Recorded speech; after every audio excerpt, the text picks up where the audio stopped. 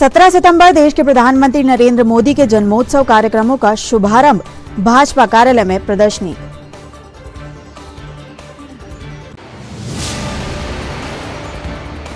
ज्ञानाश्रय योजना में आदर्श शिक्षक की भूमिका में नज़र आए कलेक्टर सौरभ सुमन, प्रतियोगी परीक्षाओं के लिए दिए टिप्स।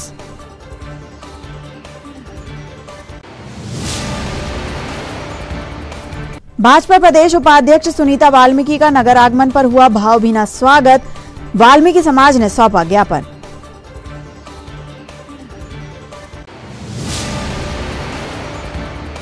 और 17 सितंबर, कोविड टीकाकरण महाअभियान बने जन अभियान। कलेक्टर व एसपी ने किया आह्वान।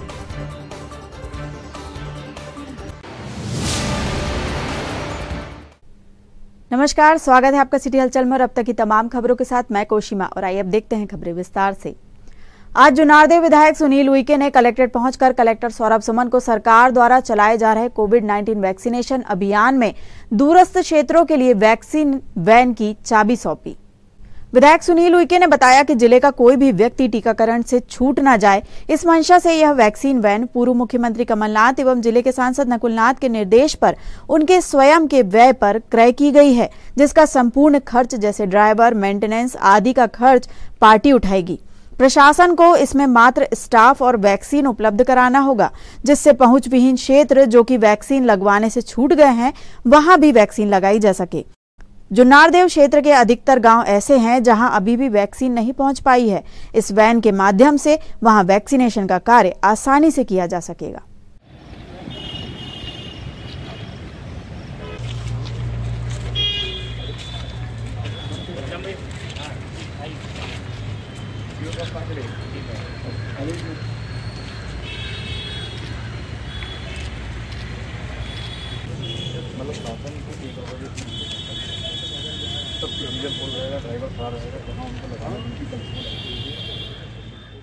जानते हैं कि कोविड में जो वैक्सीन पूरे प्रदेश और देश के अंदर लग रही है तो उसी प्रकार कमलनाथ जी और नकुलनाथ जी के निर्देश पर, क्योंकि जुन्नारदो विधानसभा बड़ा दुर्गम स्थिति में बता हुआ और मध्य प्रदेश का सबसे बड़ी विधानसभा होने के कारण कई बार बहुत सारी कठिनाइयों का सामना करना पड़ा। लोग जागरूक भी हुए हैं और प्रशासन, शासन की मदद से, जनप्रतिनिधियों की मदद से लोग वैक्सीनेट तो हो रहे हैं। लेकिन आज भी ग्रामीण क्षेत्र में ऐसी जगह है जहाँ पर वैक्सीन नहीं लग पा रही और नहीं पहुँच पा रही है।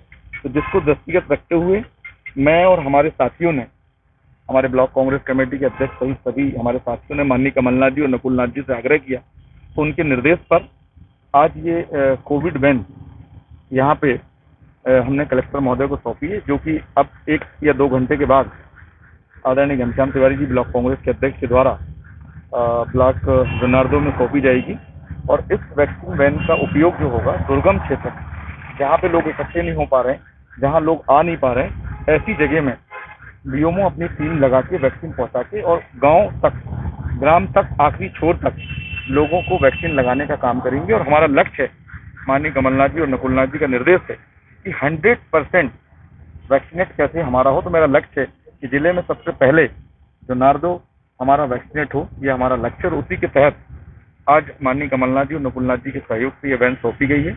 और सबसे महत्वपूर्ण बात मैं आपको ये बताना चाहता हूँ कि ये जो वैन है ये शासन या प्रशासन के वय से नहीं चली। ये माननीय कमलनाथ जी और नकुलनाथ जी के सहयोग से स्वयं के वे पे इसका डीजल, इसका ड्राइवर, जब तक वैक्सीनेट खत्म नहीं हो जाता, तब तक ये गाड़ी प्रशासन, शासन को, बीएमओ को उपलब्ध करा दी जाएगी और उसका आने वाला जो व्यय है, चाहे वो ड्राइवर के रूप में हो, चाहे वो मेंटेनेंस के रूप में हो, चाहे वो डीजल के रूप में हो, या अन्य कोई रूप में हो, सिर्फ़ वैक्सीन और स्टाफ पर उनको उपलब्ध कराना है, बाकी का पूरा व्यय कमलनाथ जी और नकुलनाथ जी के सहयोग से इसको व्यय किया आज वाल्मीकि गुरुद्वारा में प्रदेश भाजपा की उपाध्यक्ष श्रीमती सुमित्रा वाल्मीकि का वाल्मीकि समाज की ओर से भावभीना स्वागत किया गया तथा उन्हें गुरुद्वारा प्रांगण में वाल्मीकि जी की प्रतिमा लगवाने तथा गुरुद्वारे के जीर्णोद्वार करवाने हेतु ज्ञापन भी सौंपा गया। इस अवसर पर उनके साथ भाजपा जिला अध्यक्ष विवेक बंटी साहू सहित भाजपा नेता कार्यकर्ता भी मौजूद थे। सदा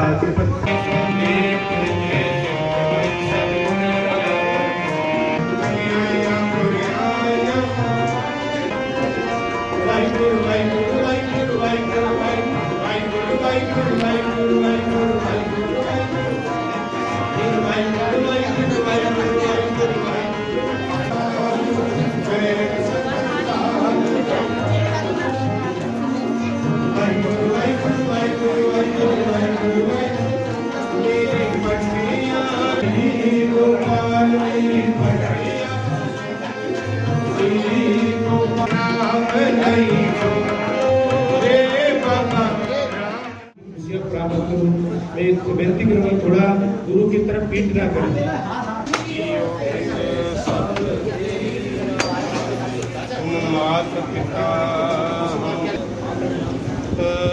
अगल तुम रे सुतर तारी तुमसे। सरबत खालसा जी की अरदास जी। सरबत खालसा जी को वाहिगुरु। वाहिगुरु। वाहिगुरु। चित आवे चित आवन का सर्वत है ब्रज की पैर पंथ की थी। श्री साई जी साई खालसा जी के बोल वास्तविक ओंकार से श्री भगवती जी साई वार्त भगवती जी की बात साई दशमी प्रथम भगवती सिमर के गुरु नानक जी आदि रामदास भगवते प्रदान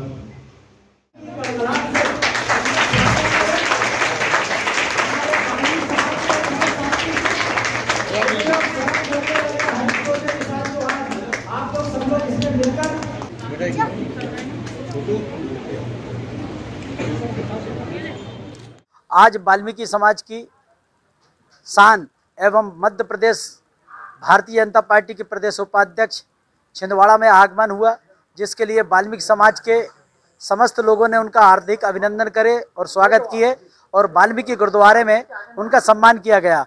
वाल्मीकि समाज द्वारा नगर निगम में कर्मचारियों का उन अ, माध्यम से उनको ज्ञापन सौंपा गया।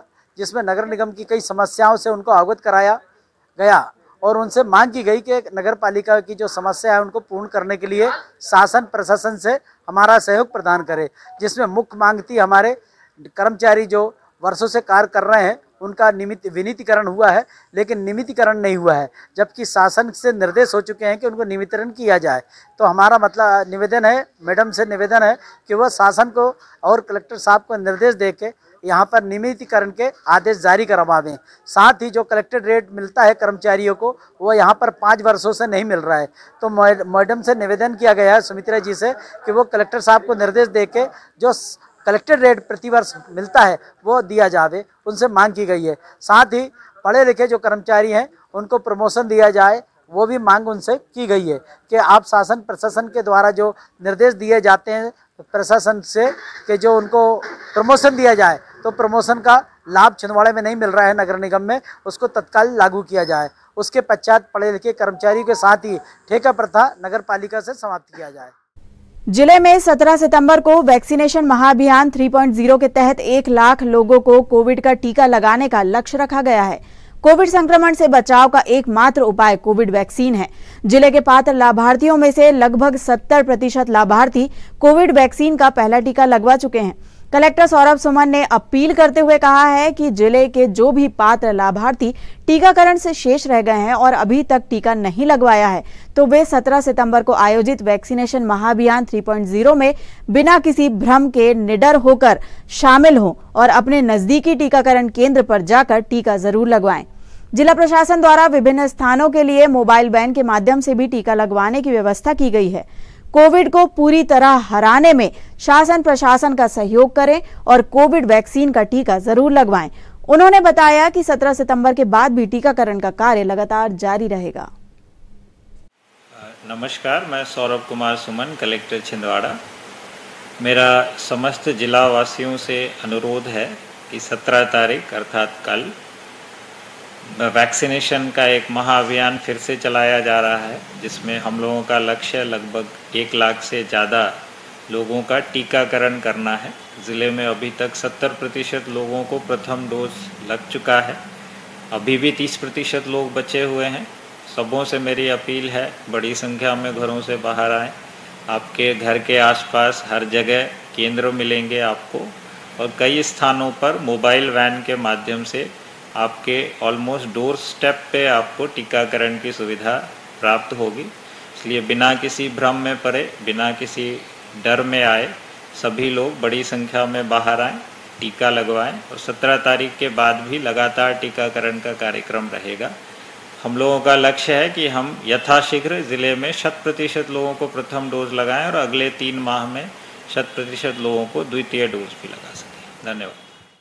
कलेक्टर सौरभ सुमन द्वारा ज़िले के विद्यार्थियों को प्रतियोगी परीक्षाओं की तैयारी के संबंध में मार्गदर्शन प्रदान करने के लिए प्रारंभ किए गए नवाचार ज्ञानाश्रय की कक्षाएँ कोविड प्रोटोकॉल का पालन करते हुए शासकीय राजमाता सिंधिया कन्या पीजी महाविद्यालय छिंदवाड़ा में पुनः प्रारंभ हो गई हैं, जिसमें विषय विशेषज्ञों व प्रशासनिक अधिकारियों द्वारा विषयवार विद्यार्थियों को मार्गदर्शन दिया जा रहा है। आज कलेक्टर सौरभ सुमन ने विद्यार्थियों की कक्षा ली और प्रातः साढ़े सात बजे से साढ़े नौ बजे तक भारतीय राजनीतिक व संविधान के बारे में पढ़ाया और प्रतियोगी परीक्षाओं के दृष्टिगत महत्वपूर्ण जानकारियाँ साझा की व आवश्यक मार्गदर्शन भी दिया।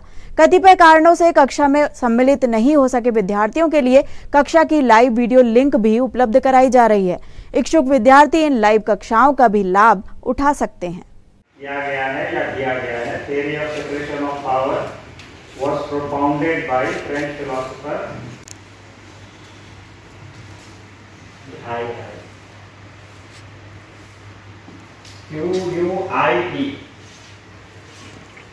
M O N T E S Q U I T एक और यू है उसका करना है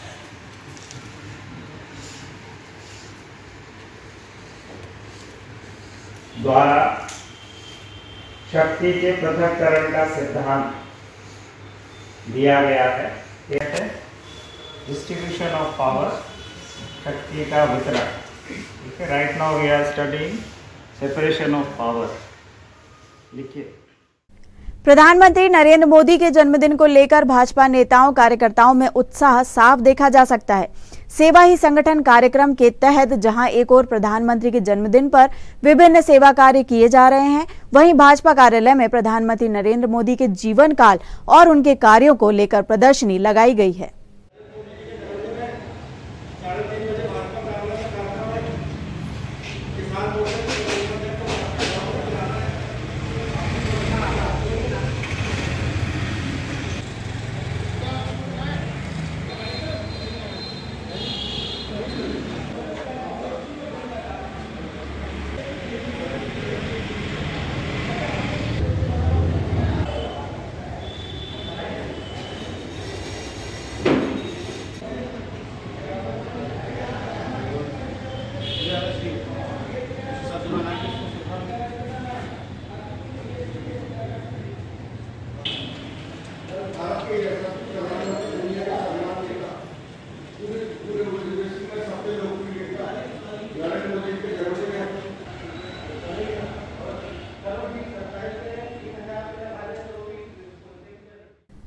प्रधानमंत्री नरेंद्र मोदी के जन्मदिवस के एक दिन पूर्व भारतीय जनता पार्टी मध्य प्रदेश द्वारा चलाए जा रहे सेवा समर्पण अभियान के अंतर्गत नगर मंडल भाजपा द्वारा भाजपा जिला अध्यक्ष विवेक बंटी साहू एवं भाजपा नेताओं के साथ नगरीय क्षेत्र के विभिन्न देवस्थानों पर स्वच्छता अभियान चलाया गया। प्रमुख रूप से बैल बाज़ार स्थित महाकाल मंदिर वार्ड क्रमांक 11 स्थित स्कंद माता मंदिर एवं टीबी सेनेटोरियम स्थित दादाजी मंदिर में भाजपा नेताओं ने स्वच्छता अभियान चलाया। इस अवसर पर विशेष रूप से भारतीय जनता पार्टी जिला अध्यक्ष विवेक बंटी साहू, भाजपा नगर मंडल अध्यक्ष अंकुर शुक्ला नगर मंडल महामंत्री ओम चौरसिया नगर मंडल उपाध्यक्ष जितेंद्र ठाकुर एवं बड़ी संख्या में भाजपा कार्यकर्ता उपस्थित हुए। प्रधानमंत्री नरेंद्र मोदी के इकहत्तरवे जन्म दिवस के अवसर पर नगर के विभिन्न मंदिरों में प्रधानमंत्री जी की दीर्घायु एवं स्वस्थ जीवन हेतु भाजपा कार्यकर्ताओं द्वारा हनुमान चालीसा का पाठ किया जाएगा एवं मिष्ठान वितरण किया जाएगा। नगर मंडल अध्यक्ष अंकुर शुक्ला ने समस्त भाजपा नेताओं एवं कार्यकर्ताओं से इस कार्यक्रम में अधिक से अधिक संख्या में उपस्थित होने की अपील की है। भारतीय जनता पार्टी कार्यकर्ताओं के द्वारा समस्त देव स्थानों पर स्वच्छता अभियान चलाया जा रहा है। प्रधानमंत्री नरेंद्र मोदी जी के इकहत्तरवें जन्म दिवस के अवसर पर आज भारतीय जनता पार्टी के कार्यकर्ताओं द्वारा यहाँ टीवी सेनेटोरियम, दादाजी मंदिर और इसके पूर्व में हमने नया बैल बाज़ार के महाकाल मंदिर और स्कंद माता मंदिर रामबाग में भी हमने भारतीय जनता पार्टी के कार्यकर्ताओं ने, भाजपा जिला अध्यक्ष विवेक बंटी साहू के नेतृत्व में स्वच्छता अभियान चलाया और कल देश के यशस्वी प्रधानमंत्री नरेंद्र मोदी जी के जन्मदिवस के अवसर पर समस्त देव स्थानों पर हनुमान चालीसा का पाठ, मिष्ठान वितरण एवं आतिशबाजी करके भारतीय जनता पार्टी के कार्यकर्ता, माननीय प्रधानमंत्री नरेंद्र मोदी जी की लंबी आयु, उनके स्वास्थ्य लाभ हेतु कामना करेंगे। और आगामी दिनों में भी सेवा समर्पण अभियान के अंतर्गत स्वास्थ्य शिविर, रक्तदान शिविर, दिव्यांगों को उपकरण वितरण करने हेतु ऐसे विभिन्न कार्यक्रमों का आयोजन भारतीय जनता पार्टी द्वारा किया जा रहा है। आम जनमानस से हमारा निवेदन है कि 17 सितंबर को माननीय प्रधानमंत्री मोदी जी के व्यक्तित्व एवं कृतित्व पर एक प्रदर्शनी भाजपा कार्यालय में लगाई जाएगी। सभी आम जनमानस उस प्रदर्शनी का दर्शन करके और मोदी जी के जीवन के बारे में जाने। जय हिंद भारत। फिरोजपुर से छिंदवाड़ा आने व जाने वाली ट्रेन क्रमांक 4623 व 4624 में शकूर बस्ती में पार्सल सुविधा उपलब्ध करवाने की मांग करते हुए छत्तीसगढ़ राज्यपाल सुश्री अनुसुईया उइके को आज एक ज्ञापन पूर्व जोनल सदस्य सत्येन ठाकुर के साथ रेलवे डेलीगेशन व्यापारियों व निजी हमालों ने सौंपा। तो बताया ही नहीं क्या बता बोल रहे हो बताइए। ये भी वो है वो जो लेटर मैंने आपको दिया था ना क्या? अपना सराय रोजा जाती थी पहले ठीक ट्रेन अब क्या हुआ कि सराय रोजा ट्रेन बंद स्टॉपेज बंद हो गया। तो बिल्कुल प्रभावित हो जा रहे हैं और व्यापारी भी। तो ट्रेन यहाँ पे स्टॉपेज फिर से वहाँ चालू हो जाए सब कुछ बस्ती हो जाए। देखा भी है यहाँ इससे क्या होगा कि वो विधायक उड़ीला होती तो जाती है। ऋषिकेश हाँ ऋषिकेश उनका स्नान बहुत आसान अब भटिंडा का इन्होंने चेंज कर दिया। और जो दूसरा सराय रोडा से निकल जाता अब इन्होंने क्या किया, जब इसको वापस भी चालू किया तो इन्होंने पता नहीं कौन सा से लगाया और सराय को हटा दिया। छिंदवाड़ा से प्रतिदिन चलने वाली पतालकोट एक्सप्रेस, जो पहले छिंदवाड़ा से अपना सराय रोहिला जाती थी और उसका ठहराव सराय रोहिला होता था। अभी चूँकि नई समय सारणी में रेलवे ने सराय रोहिला में ठहराव बंद कर दिया है तो आज इससे हमारे छिंदवाड़ा ज़िले के प्राइवेट कुली हमाल और व्यापारी, फुटकर व्यापारी, ये तीनों बहुत प्रभावित हुए हैं और आज उनकी अर्थव्यवस्था अत्यंत दयनीय है। क्योंकि स्टॉपेज खत्म कर दिया गया है, इसलिए हमने आज राज्यपाल महोदया सुश्री अनुसुईया उइके जी से रेलवे के डेलीगेशन व्यापारी और अधिकारियों के साथ ये मांग की है कि या तो सपूर बस्ती में पार्सल सुविधा दी जाए और पतालकोट एक्सप्रेस का वहाँ स्टॉपेज किया जाए, या पुनः पुराने पूर्व प्रणाली के अनुसार रेलवे का जो स्टॉपेज सराय रोहिला में था उसे नियमित किया जाए। सत्येन ठाकुर, पूर्व जोनल सदस्य, छिंदवाड़ा। युवा भाजपा नेता शंटी बेदी के जन्मदिन के अवसर पर उनके साथियों द्वारा विभिन्न सेवा कार्य किए गए। इस अवसर पर शंटी बेदी के साथ उपस्थित साथियों ने वृद्धाश्रम में वृक्षारोपण कर वृद्धजनों को फल वितरित किए। तो वहीं पातालेश्वर स्थित शिशु गृह में बच्चों को वस्त्र वितरित किए गए।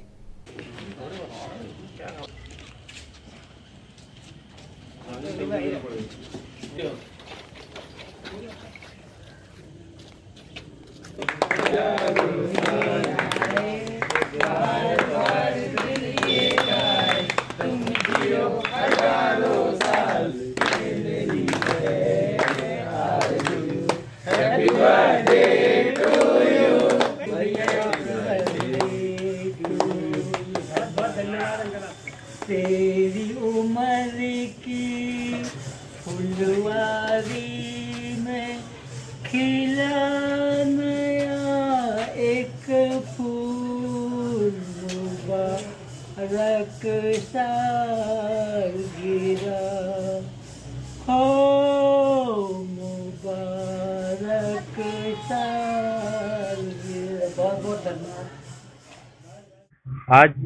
भाजपा युवा नेता संटी वेदी का जन्मदिन सेवा ही संकल्प के रूप में सभी युवा साथियों ने मनाया है।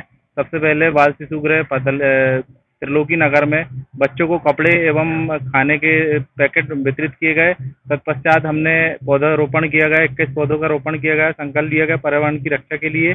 उसके बाद हमने वृद्धाश्रम में बुज़ुर्गों को फल वितरण किए, किया गया और उनका आशीर्वाद दिया गया। और जन्मदिन पर सभी युवा साथियों ने अलग अलग स्थानों में भी भाजपा युवा नेता संटी वेदी जी का जन्मदिन मनाया है और हमारा ये उद्देश्य है कि जन सेवा के कार्य लगातार युवाओं द्वारा किया जाए। इसी लक्ष्य को लेके लगातार युवा काम कर रहे हैं। आज सभी युवा साथी ने संटी वेदी जी को बधाई दी है। जय हिंद, जय भारत। बढ़ती महँगाई के खिलाफ जिला कांग्रेस झुग्गी झोपड़ी प्रकोष्ठ के नेतृत्व में लगातार धरना प्रदर्शन किया जा रहा है। आज शहर के दो वार्डों के रहवासियों ने रैली निकालकर डीजल, पेट्रोल, कैरोसिन, रसोई गैस सहित अन्य सामग्री के दामों की मूल्य वृद्धि को लेकर प्रदर्शन किया।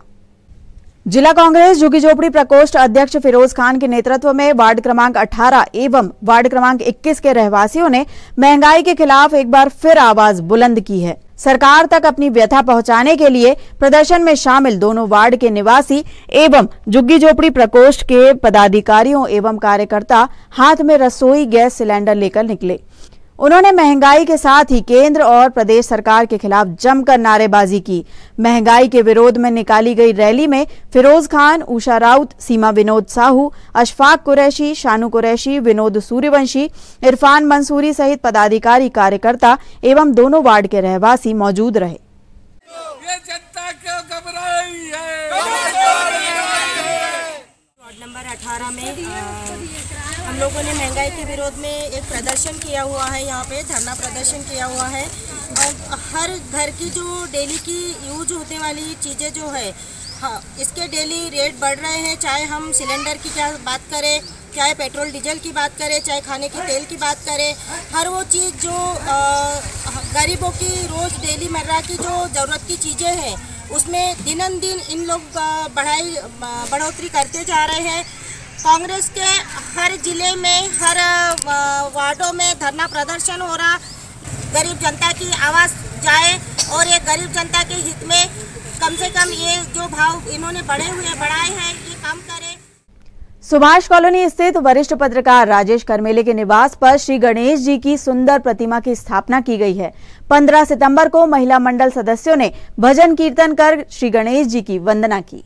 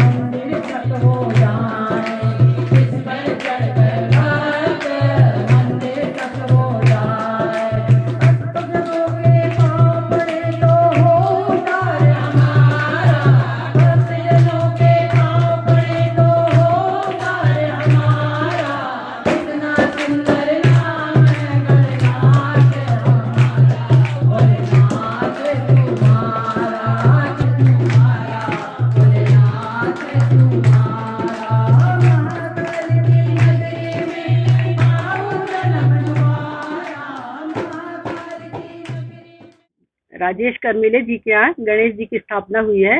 उस उपलक्ष्य में महिला मंडल द्वारा गणेश जी के भजन गाए जा रहे हैं। और भगवान से प्रार्थना है कि इस परिवार में और सारे परिवार में जितने लोग भजन गा रहे हैं सबके भगवान कामना को पूर, पूरी करे और कहीं से भी कोई कठिनाई किसी को घर में ना आए। ऐसा मेरी प्रार्थना है भगवान गौधुली वृद्धाश्रम में भी इन दिनों श्री गणेश उत्सव की रौनक दिखाई दे रही है। वृद्धाश्रम में स्थापित श्री गणेश जी की मूर्ति का प्रतिदिन बुज़ुर्गों द्वारा पूजन पाठ किया जा रहा है। वहीं भजन, कीर्तन के स्वरों से गौधुली वृद्धाश्रम में पर्व की रौनक साफ़ देखी जा सकती है।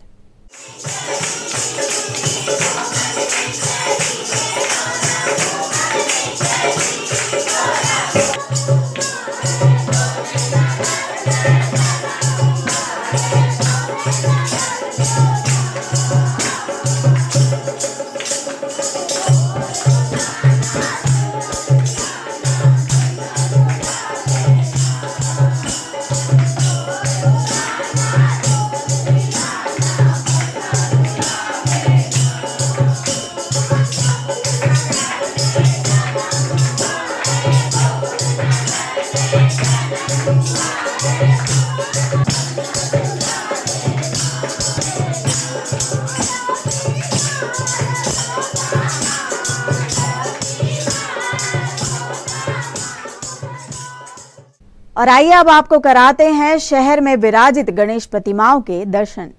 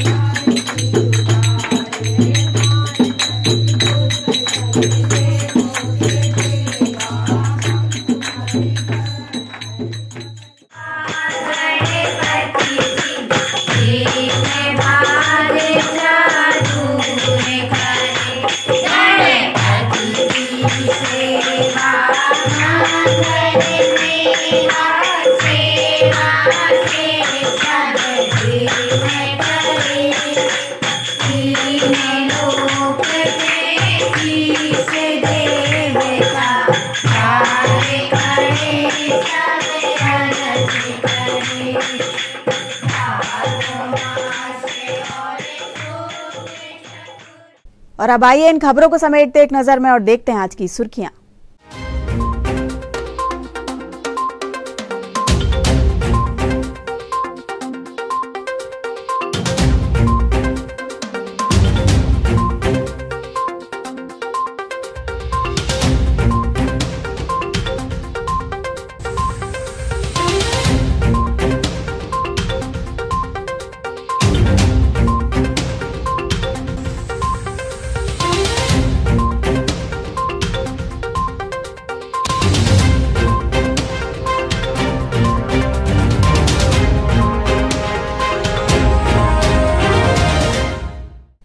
चलते चलते एक नज़र फिर आज की हेडलाइंस पर।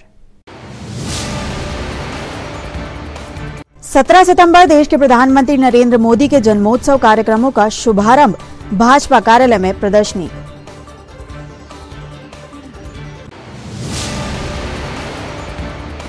ज्ञानाश्रय योजना में आदर्श शिक्षक की भूमिका में नज़र आए कलेक्टर सौरभ सुमन, प्रतियोगी परीक्षाओं के लिए दिए टिप्स।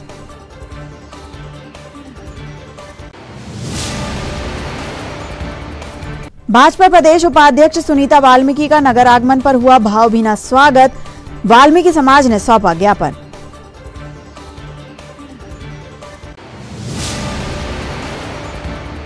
और 17 सितंबर कोविड टीकाकरण महाअभियान बने जन अभियान, कलेक्टर व एसपी ने किया आह्वान।